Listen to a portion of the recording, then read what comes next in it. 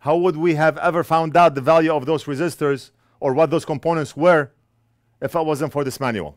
How? I mean, if every company provided a manual like this with so much details, a lot more devices would get fixed. Kenwood deserves to be praised for that manual, honestly. We need everyone to do the same. Why can Kenwood do it and Apple, for example, cannot? They provided a 156 page manual.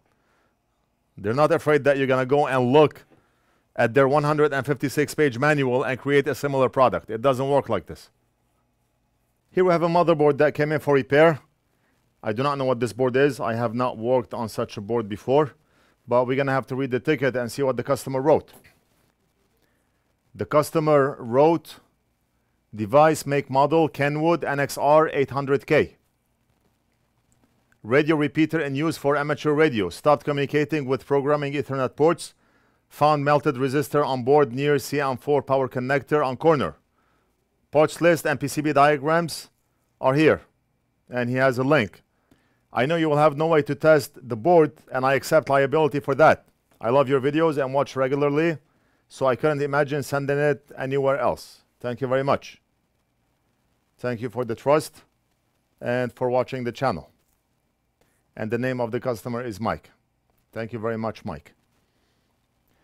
Now, if we click on the link that the customer provided, we have this. Let's see what kind of manual Kenwood provides. I mean, that's a 156 page manual. Do they really provide circuit diagrams, board diagrams? I mean, I see part numbers here. R198, you have a part number. R202, you have a part number. R203, you have a part number. Wow.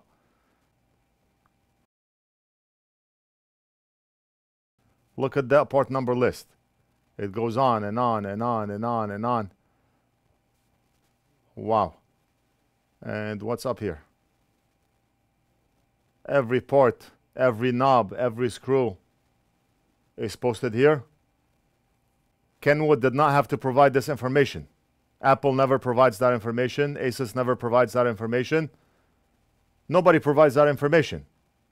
Look at Kenwood.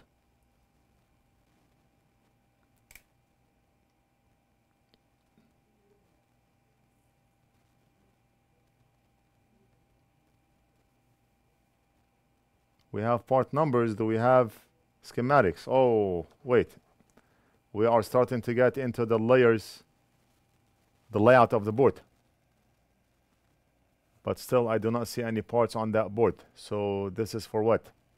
Component side view, final unit, J790149-09. I have a board number here, J790011. So this is probably so it looks like they have more than one board layout on this PDF file because the board number I have is J790011-19. 0790149. I mean, I do not want to waste a lot of time going over the pages, but I just want to see something useful. We have components layout right here we have components layout right here. Are you kidding me? Really? Wow. Kenwood is really something. I mean, who provides this information? Honestly, who provides this information? Rossmann has been fighting for the right to repair for the past how long?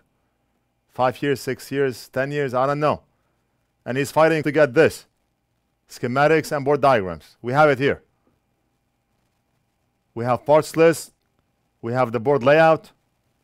I did not see schematics yet, but I'm sure I will. I mean, that's 156 page manual. Where should we look? Oh, oh, right there, right there, right there. So we do have schematics. How do we browse through 165 page manual? Is that practical? We have to narrow things down. What I need to do is the customer mentioned burnt components or melted components. If we look under the microscope, I see this. He did mention CM4. So at least in that manual, we can search for CM4. I do not see any components numbers here.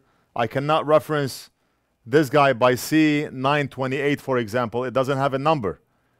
Those inductors, they do not have a number. So the only number I have on the board right now in this area is CM4. Maybe we can look at CM4 and see what CM4 connects to.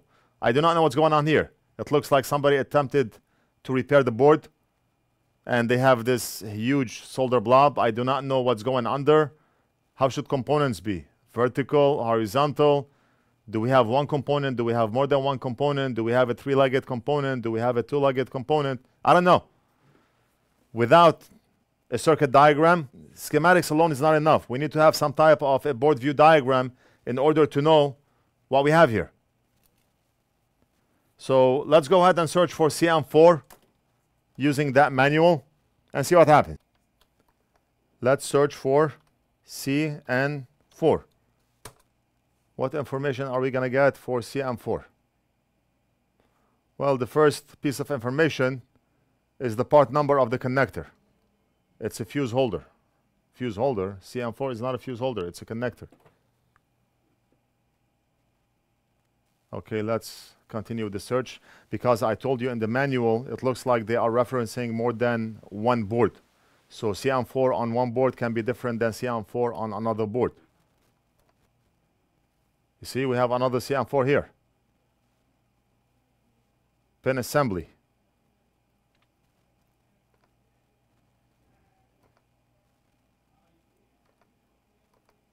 We have, we're not interested in 41, 42, 43, 44, 45. I'm just interested in finding out what's going on in this area. This is not going to help me.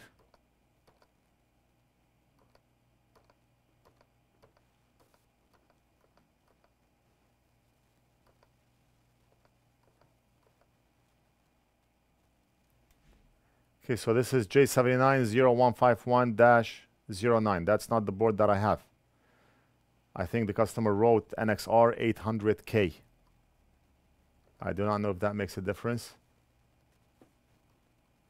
Oh, right there, right there. I think, I think we have the connector right here. It's a four-legged connector, but I do not see any components in front of the connector.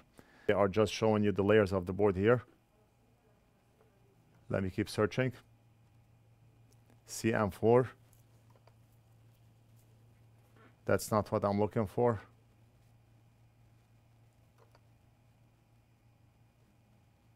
CM46, not the one.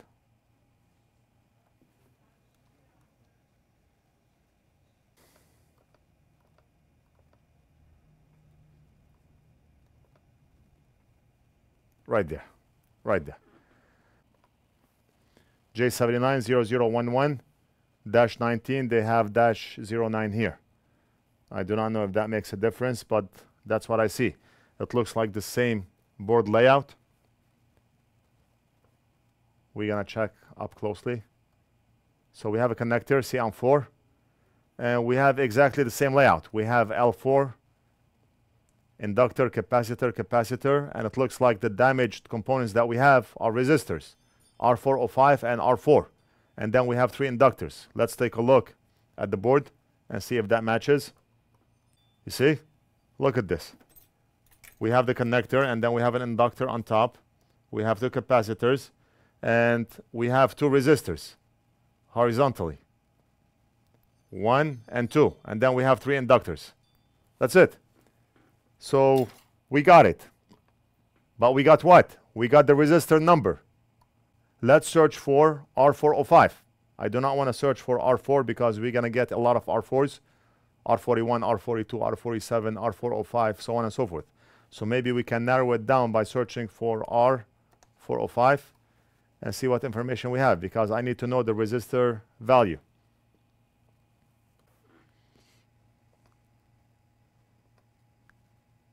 We have R405 here, but R405 is lonely. Where's R4? I do not see it. So we're going to assume that's not the one. and there should be a board number on this page.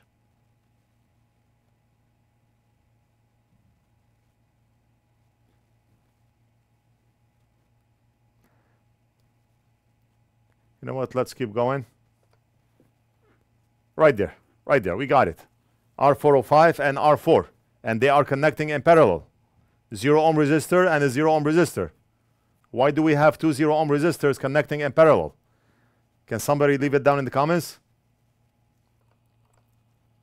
The value of the resistors, zero ohm resistor and a zero ohm resistor. How would we have ever found out the value of those resistors or what those components were if it wasn't for this manual? How?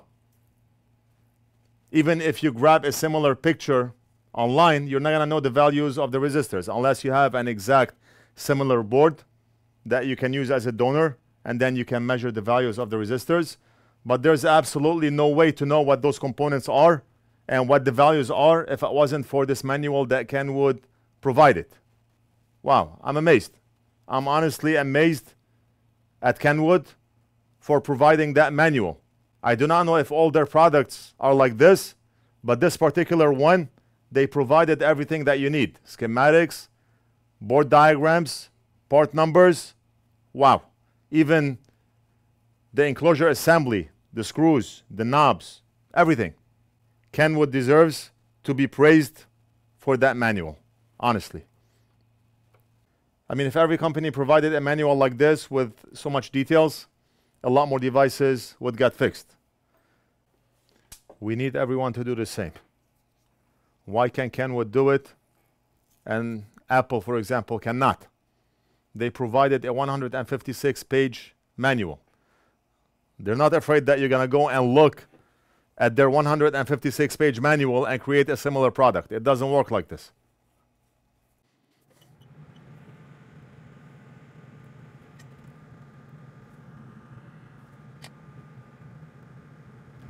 Okay, so in here,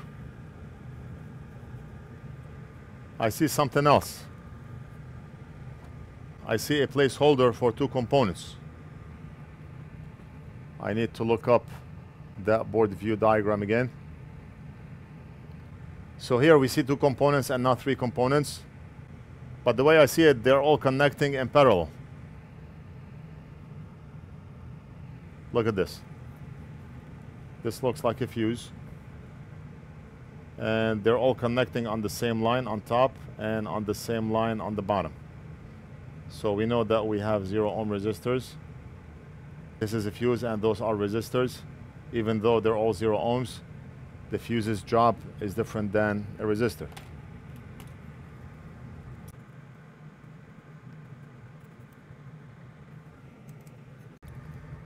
Now the component looks like possibly size 805 this is the 805 resistor booklet. We have 10 booklets in stock. If you're in the same type of business or you are doing this as a hobby, you can buy all 10 books from us.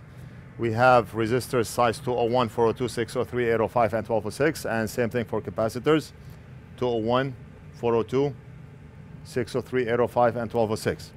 So let me check 805. Is it the same?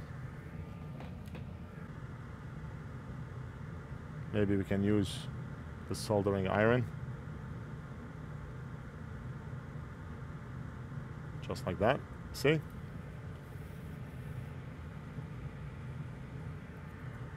You have to use that piece of meat in your head. Now I think, I don't know, I think 805 is big. Maybe we should try 603. I feel like 805 is too big. Mean, I can look in that manual and try to figure it out. But right now, the only step down from 805 is 603.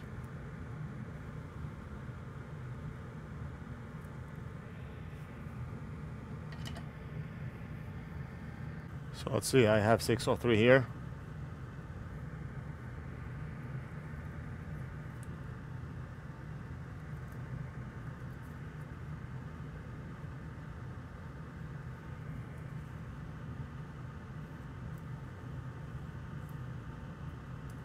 Lost it. We lost it to the ninth dimension. No coming back.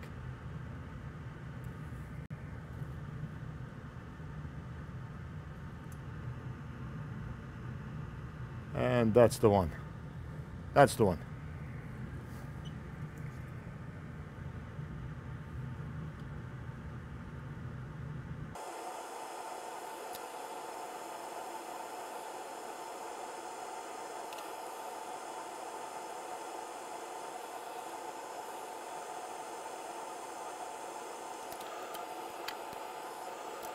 Let me grab the NF mini soldering pen.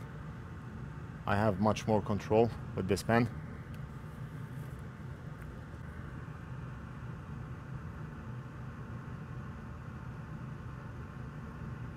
See?